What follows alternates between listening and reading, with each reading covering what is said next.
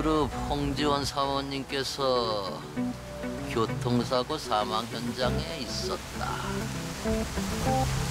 우연히 그럴 수도 있지. 근데 그 사망 사고 피해자가 홍지원 사모님이랑 같은 보육원 동기라면 뭔가 이 구리구리한 악취가 풍기지 않아.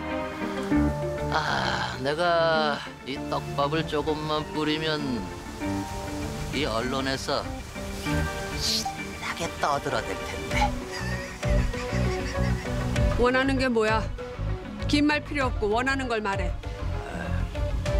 이나 같은 인간 말중이 뭘 원하겠어. 한 장. 한 장이면 충분해. 그럼 넌 자유야, 홍지원. 한 푼도 못 줘. 니깟 놈들 내가 몰라?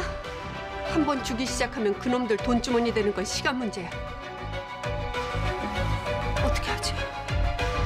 그놈 입을 어떻게 막지? 이 윤설 변호사가 제 성추행 사건 누명 벗겨줬던 변호사예요. 저 이 사람 추천입니다. 윤솔이라면 이번에 우리 가야 마야 일도 깔끔하게 해결해 준 사람이에요. 윤설.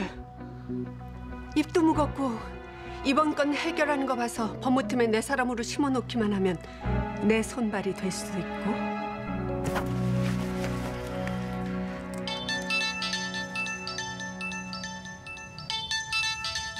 나한테까지 전화하는 걸 보니 홍지원 당신 뭔가 곤란한 상황이 생긴 모양이지. 여보세요? 나예요, 가야 마야 할머니. 네, 안녕하셨어요. 근데 무슨 일이시죠? 내가 윤 변호사님께 은밀히 부탁할 일이 있어요. 지금 좀 만났으면 하는데 내가 그리로 갈게요. 죄송해요. 제가 의뢰인을 만나느라 지방 출장 와 있어서요. 지금 만날 수가 없어요.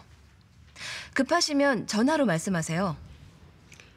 지금부터 내가 하는 말 비밀로 해줄 수 있죠?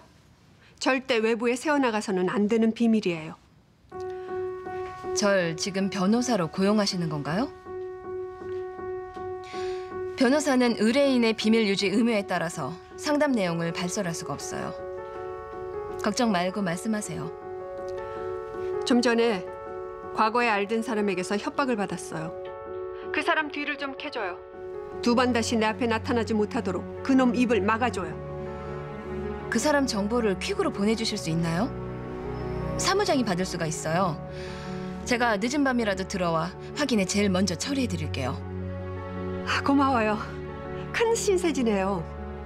만약 이번 것만 잘 해결해주면 어떤 식으로든 큰 보상할게요. 약속해요.